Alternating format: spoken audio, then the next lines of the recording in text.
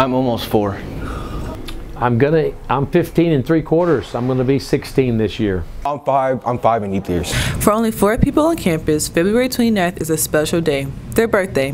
February 29th only comes around once every four years, and that's leap year. Everybody just makes the same joke like, oh, he'll never be able to drive. But But really, having a birthday on a day that legally only appears on the calendar once every four years can cause some problems. Technology started coming around. You never got to be able to type in or put your birthday in. So next week, these Jags will get their chance to celebrate. Uh, probably going to Miami.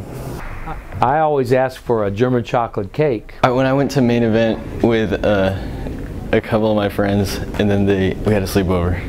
For Jag TV, this is Madison Sparks.